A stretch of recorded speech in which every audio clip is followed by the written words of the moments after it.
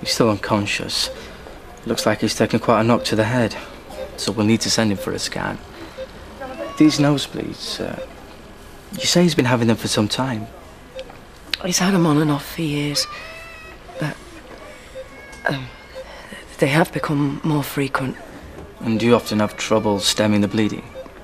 Sometimes. Would you say Theo bruises easily? I suppose. I, I, I've never really thought about it. Why? Is it serious? It's quite possible Theo may just be severely anemic from the blood loss. However, we'll need to run some tests. Tests? There's a chance Theo may be lacking a protein in the blood which helps make it clot. Uh, um, it, it will be all right, won't he? I mean, what if he is lacking this?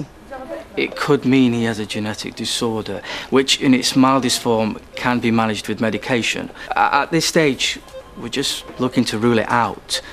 But as it is a disorder which can be inherited from both parents, we'll need to test you both. Thing is, Doctor, she's not my wife, Tom. and I'm not. Well, what do you want me his to say? Father. It's really crucial that we build up a thorough picture of Theo's genetic makeup. Obviously, there are ways we can ascertain paternity.